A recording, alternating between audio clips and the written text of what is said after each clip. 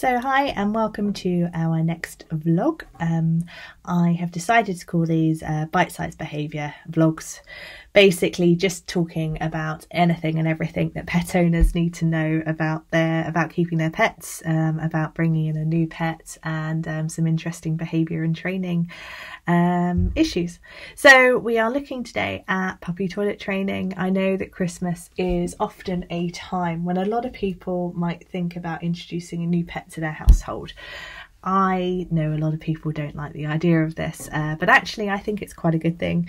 Um, I think you are often home for a week or two at least, so you can really settle in a new pet quite well. And provided you were already looking at getting a pet anyway, and this isn't just something to give the kids, um, then I think actually Christmas is not a bad time to get a new pet. Um, so, we're going to talk about puppy toilet training today. So, why is this so important? Well, basically, not getting it right is a really, really common cause for rehoming dogs. Uh, a lot of dogs get relinquished to shelters and to rescues because they haven't been properly toilet trained and it's driving the owners bonkers. It isn't sanitary. If you've got dogs weeing and pooing in the home, they carry a lot of diseases in their poo. Um, all poo technically does, uh, but the fact is, if it's all over the floor um, around children, it's really bad for them or if you've got immunocompromised in the home as well. So yeah um, we need to make sure that our dogs are weeing and pooing outside not in not indoors. Um, also being able to go around to other people's homes and take your dog to the country pub tends to be quite a british thing to do. We like to do that. We all love to see other people's pets. And it's a pretty rubbish experience if you are terrified that your dog's going to wee and poo in the pub or in your friend's house. So it's quite important to make sure that they don't do that. Um, and also, really, this is one of those things that if you've got a dog that wees or poos in the home all the time, you can bet that the dog and owner bond is is not great. Um, there's probably quite a lot of frustration going on there, and probably quite a lot of anxiety from the dog too. So it's really, really important to get toilet training right. Dog and owner bonding, it's something that I will talk about on another vlog. Um, but essentially, if if it's not right, your recall for one is definitely gone, but the pleasure in dog ownership is is really virtually non-existent. So something like this, which is so basic, is so important to having a pet that's happy and a owner that's happy, and it, it's a relationship. Both of you need to be happy. So toilet training really, really key. To... Okay, so I want you to think about the last time you were really, really, really desperate for the loo. How did you feel? Really uncomfortable, I'm betting. Quite anxious, especially if you're female. It's way worse if you're female because you've got a lot fewer options. Um, but basically, it does generate anxiety in you, and that anxiety is only relieved when you go for a wee. Um, now, when you actually say go to the loo and you sit down, do you consciously think, I am going to squeeze my bladder and have a wee? Or does your bladder just pretty much automatically take over for you? That's pretty much toilet training for our dogs. Uh, so there's two key facts in that we need to remember. One, when they need a wee, pets get anxious okay they get uncomfortable. And it's designed to be the case because it motivates them to go and do something go and find the right place to go to the loo. Uh, that's the discomfort. It motivates them to seek relief from that discomfort by going to the loo. And the second thing is wherever you go to the loo that's where you will associate with going to the loo with feeling better with escaping the relief from that discomfort. Um, so essentially, when you sit down to go to the loo, you don't consciously think, I will squeeze my bladder. It happens automatically. And that's what we want from our dogs. We want them to go outside, we want their paws to hit grass, and for their bladder to just automatically go, I have a wee now.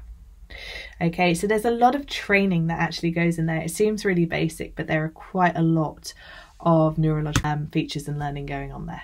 So, the science of toilet training, what are we basically doing? We're teaching them to hold their bladder until they get to the right place.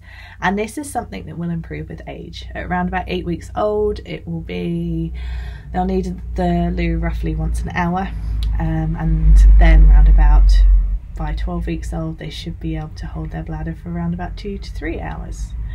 Uh, but it's worth remembering all bladder holding has a limited capacity and this will not always follow that hmm, it's been an hour they should be able to hold it If they've been running around jiggling and playing, then actually the stretch receptors in their bladder will have been sending feedback to their brain that they really need the loo. So it's really, really worthwhile remembering that when a dog's got to go, it's got to go. Um, and we don't have to sort of stick to this one hour thing. If they look like they need a wee, get them outside. And it's also, we have to remember that most urination defecation happens automatically, particularly when they're on the right substrate. So you sit down to go to loo, it just happens automatically for most people. Um, and that's really that's what we are trying to do with our dog it, it needs to be automatic okay so problems with toilet training um, I'm talking about this before we talk about how, because really we have to rule out things that could affect the toilet training before we try and teach them uh, to to not to wee inside. Um, one of the biggest blocks is urinary tract infections, and it's not uncommon for puppies to pick these up. They can quite easily get these little puppy pyodermas, which are skin infections. And I know that my first puppy had it all over her stomach, and it had actually covered her genitals and gone up her genitals and she had a UTI and I was getting so frustrated. Um, she was weeing probably two, three, four times an hour, tiny amounts of urine and I couldn't do anything about it. I couldn't get her to wee outside. It was just, it was without warning inside and it was only when a friend sort of said to me, maybe she's got a UTI. It kind of clicked, and I went to the vets and we got her some antibiotics, and she was fine. And then we managed to do toilet training. But ultimately, you're not going to be able to toilet train a dog with a UTI very easily because if you've ever had cystitis, you just need to go a lot, and it's really, really uncomfortable. So keep an eye out for that. If they are weeing way more than normal, get to the vets before you worry too much about your toilet training. Another big problem with toilet training is where a dog's had a lot of accidents in the home and the home hasn't been cleaned up properly. A dog's sense of smell is incredibly strong. I think it's something 45 times stronger than humans, I think, at an absolute minimum. And it's just as strong a trigger for them to wee or poo as it is for humans to sit down on the loo. They catch a scent of where they've been before, and that sends a trigger to their brain of, oh, my bladder's full. I'll go here. So if we haven't cleaned up an accident properly and got rid of that underlying scent marker, they will go over areas where they've already had a wee or a poo. Now we can use that to our advantage because if we take them to the same spot in the garden, that scent marker will start to build up in the garden, which is perfect. That's what we want. But if it's indoors, you're going to have more accidents. Other things that don't help are inconsistent messages. I know a lot of people like the idea of leaving newspaper down for your dogs to wee and poo on. They like the absorbency of things, which is why often carpets are used so much because it stops splashback up. But the problem with newspapers um, or puppy pads down on the floor is that you don't want them to go to a wee or a poo inside. You want them to learn to go outside. I think it's way better to be vigilant and work at it a little bit harder over a couple of weeks so that you nail toilet training than it is to give them a really inconsistent message of, oh, sometimes you can go for a wee or a poo on these mats, but other times I want you to go outside. Sometimes it's okay for you to go inside, other times it's not. Don't do it. Just have one message for toilet training. They are simple minded beasts and they do very, very well with a simple message. Excessive accidents as well, it, it's pretty much the same as inconsistent messages. If they are having lots of accidents in the home, they will have more accidents in the home. And beyond a certain point, you will end up with a dog that is never properly toilet trained. If you keep having accidents indoors, there's a chance you'll never teach them uh, not to go indoors, which is tough. And lastly, it's I think this is this is a message that I don't think a lot of people like to get out there in dog training world because I think people almost want to go you can do this with any dog so don't put it down to a breed or a specific issue with that dog. All dogs are capable of being toilet trained. Yes they are but some breeds are harder than others. Uh, i would definitely definitely say that small dogs um, but any toy breed really, and short coated dogs, potentially like greyhounds and staffies, they really don't like the cold and they really don't like the wet. A dog that doesn't like to go outside when it's cold and wet, particularly in England, is going to be a dog that's going to be harder to toilet train. So they'll often go outside and they'll be so shivery and cold. They'll sort of stand there hunched really, really pathetically. And it's almost like their bladder's kind of clamped shut as well. They go inside and they relax and then they go, oh, I needed a wee. And they go inside. So just just be aware and we can look at how to do that but one of the best things you can do to help them is to put on a coat for them have a little doggy coat that they can wear outside that's waterproof and nice and warm and it, it will at least help a little bit um, so what you actually do need for toilet training then sorry first off you need a fixed length lead and a collar or harness. Now, I would strongly recommend that a collar is better because most people don't like leaving harnesses on their dogs when they're not actually out for walking. And you need to make sure that you and your lead and your puppy are ready to go outside as soon as it's time for them to go for a wee. So, no hunting for leads, no trying to put on the harness because in that time they've had an accident already.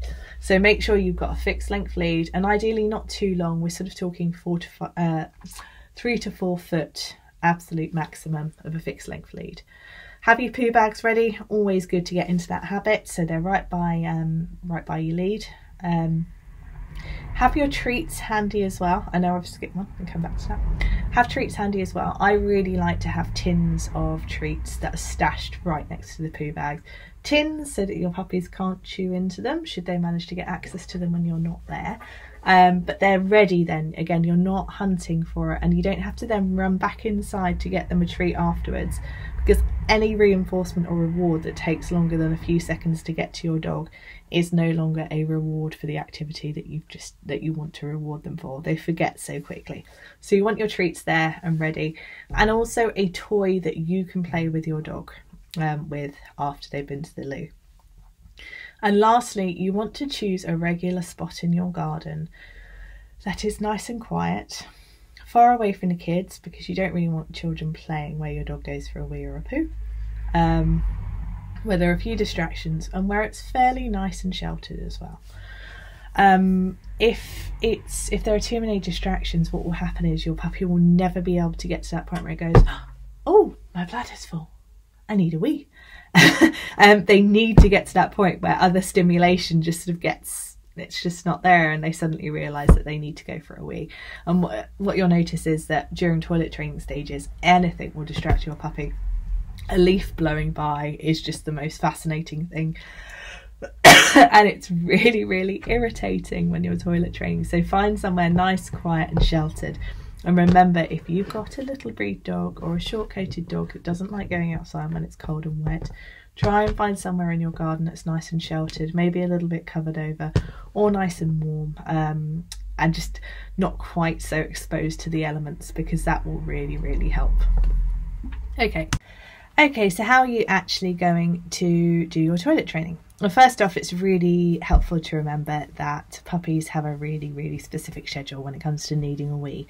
When they're eight weeks old, they pretty much need to go every hour on the hour that they're awake. As soon as they wake up from sleep or nap, um, or before or during any vigorous play, anything that jiggles the bladder around tends to make them want to have a wee, um, and also after meal times. So your best bet is to make sure that you basically work on their schedule. Take them out every hour on the hour, whenever they wake up, after meals, and before any vigorous play. I recommend that you make sure you're all prepared. So you've got your lead, you've got your coat on, you've got their coat on if they need a coat on as well, um, and you've got your treats and your poo bags with you. You then walk or jog them over to wherever their toilet area is going to be. If you jog with them, you're going to jiggle around that bladder. You're going to make those stretch receptors fire off a message that they need to go for a wee, which is going to make your job a little bit easier. Um, so take them over there, and once you get there, your job is to stand still and don't distract them. So essentially, hold the lead. I tend to sort of hold it just in front of me, keep it in one fixed place. Don't use the lead to sort of tug them around or try and distract them off of things or kind of yank them off of things. Literally, just hold on to the lead and let them sniff, investigate anything within that radius, but you stay still. So they have a very fixed radius of sort of three to four foot around you, and ideally they will then get bored and they will get to the point where they need a wee and they will go. After five minutes, if they've not been distracted um, and not been put off from going at all, but they've literally just not needed a wee, take them back inside and pop them ideally in a crate or anywhere that's nice and confined that you can keep an eye on them so that they don't have a wee indoors. And leave them there for sort of 15 20 minutes and then after that point take them back outside again on a lead let them sniff that area and hopefully go for a wee. Um, once they do go, then your job is now to make it really, really worth their while. So, ideally, I tend to give them three treats for every wee. So, count them out one, let them chew it, two, let them chew it, three, let them chew it. I give them lots of praise, and that praise starts the moment they stop weeing. I don't do it during, just some puppies, if they're really, really excitable, can stop weeing. Um, so it's much better to wait until they've finished um, and they stand up again. And that's a good boy, good boy, as you get out your treats and give them their treats. And then once you've done that, you unclip their lead and you have a really good play with them which is why you take the toy out with you.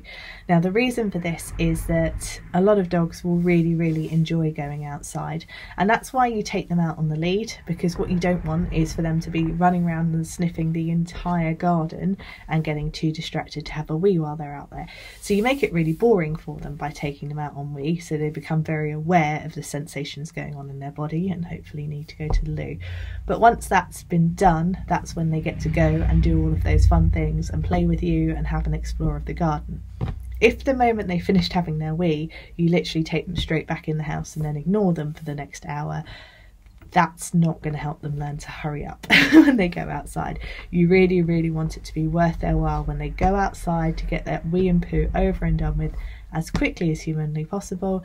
Then they can have treats, praise, and play for a while. Um, then, once you go back inside, they've got freedom for an hour, so they don't need to be confined to a crate or a puppy playpen. But I do recommend that you keep them in whatever room you're in, or in a room which has got a nice, easy to clean flooring, because ultimately, if they do have an accident, then you can either see it and hopefully grab them and take them outside, or you can clean it up at least very, very quickly afterwards. There we go, how to progress. So basically, as your puppy learns that they go outside, then you'll be able to increase the time between your loo breaks. Um, and it will just be something that you'll start to notice fairly automatically that you're going outside now on the hour every hour and they don't need to go and you're repeating the sort of process every 15 minutes and now it's two hours um, do remember to never ever leave it too long. As they start to get good at knowing they need to go outside, it will cause them anxiety if they have a full bladder and they're unable to go. Um, so just bear in mind that actually, because we taught them to go outside, it will be really uncomfortable for them to hold their bladder, especially when they're young. So we have to be really, really on it as dog owners and make sure they get plenty of opportunities to go out for wees and poos. Signs to watch out for that your dog needs to go for a wee are pacing, whining, scratching at the door. Some owners will put in doggy doorbells uh, for their dogs. I never like the idea of this because I sometimes think that bored dogs will just go there and annoy me by ringing bells, but there we go. Um, and also sniffing the ground and circling is really really big indication that your dog is probably going to need to go for a wee in a moment. So any sniffing the ground and circling get that lead on and get them straight out the door asap um, as your walks start to increase with them as they get older and more mature what you'll also notice is that scent markers out on walks left by other dogs will be places where they also want to go to the loo. So they'll catch a sort of scent marker or a calling card of another dog and they want to add theirs to it as well. So you should start to notice that they will start to want to go outside more anyway. But just give them lots and lots of opportunities while they're young and don't push it, never leave it too long for them. Okay, so lastly, accidents. Now, accidents will happen it's just a fact of life with toilet training. Doesn't matter how good you are, at some point um, it will break down. Um, but the biggest thing to do is to clean them up quickly and really well with an enzymatic spray, um, such as Urine Off, which you can order quite easily from Amazon, or another mail order company, um, or a solution of biological washing powder with water. Scrub that area because what you really need to do is to break down the components of urine that will keep there being a scent marker there that will attract them back to that space. So, really, really clean it well. That's the most important thing to do. Then you need to have a th- think about what did I do wrong so that my puppy had an accident. And the reason why I say this is that it is always the owner's problem. when a puppy has had an accident, it is not the pup- puppy's fault. They are born being able to wee and poo wherever they want, and we as humans want them to wee and poo where we want them to do. Now, this is two species trying to have a bit of a communication problem. So it is not the fault of your dog if they have an accident. You need to work out what you need to do next time to make sure they're not going to have an accident again. And it was probably something really simple like you didn't set a timer and you didn't realise it had been an hour and a half on. Or the kids were playing with the puppy and it was getting really, really vigorous, and actually it had been 45 minutes, but the bladder was jiggling around and they'd had a big drink after a walk. It will be something like that, but if you can really, really think honestly, what could I do better next time to make sure this happens again? You are maximizing your dog's chances of success because ultimately the more accidents they have inside the more accidents they will have and the less precise your toilet training will be there are some dogs who will never be fully toilet trained because of that um, don't punish your dog for accidents. It was an accident. We don't punish for accidents. It's not fair. All it will do is increase your dog's anxiety. They will get really, really worried about needing a wee and poo around you. And then when you need to take them outside on the lead to make sure that you give them praise and treats for toilet training, they're not going to want to wee and poo around you. So you're not going to have those opportunities to praise them, which means it's going to make your toilet training so much harder. They're not going to want to wee and poo around you. They're going to find somewhere to hide and do it there. And then you're just going to be in a cycle of punishing them every time. Your own dog owner bond's going to be awful and your recall's going to suck. So don't do it. Don't punish your puppy for what is essentially a mistake with the management. Um, I hope I've made that point very, very clear. Toilet training puppies is actually quite easy. Trying to toilet train an older dog who's had lots of accidents, it's it's really difficult, if not imp- impossible sometimes. Um, I know that's not popular opinion, but having tried to toilet train older Dachshunds who were very badly toilet trained as puppies, I threw everything into it and I couldn't do it. Um, so all I was left with was managing it, and it was quite a difficult situation. So, lastly, I'm also going to say this as well. We as humans, we love to anthropomorphize our pets. Um, we do it all the time. Um, we have a tendency when dogs have done something naughty or wrong to say they look guilty. Like my bunny is there. Um, they're not guilty. They're not naughty. They're not wrong. Um, all they've done is relieved a natural urge inside your home. Now, ultimately what you're probably seeing is fear. We're really bad as humans as reading dogs being ashamed as fear.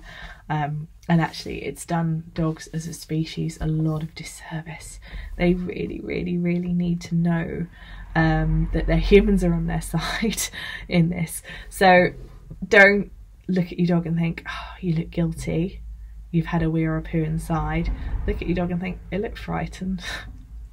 I'm going to be a bit worried that I'm going to be angry with them. They've had a wee or a poo inside because I went outside for too long and left them on their own. That's why. So please, please, please don't punish them. Don't think they're capable of shame or, or, or um, guilt. They're tertiary emotions, they're human emotions. Your dog, if your dog's looking like that, they're scared and they're scared because they've had an accident. Please see as that. Look at your toilet training and work out where you can make it not go wrong again next time. okay, so last but not least, best of luck if you are having any problems with toilet training. It is essentially a pet discussion of most dog trainers and behaviourists. So pick up the phone, give your local dog trainer or behaviourist a call, or you're welcome to drop us an email.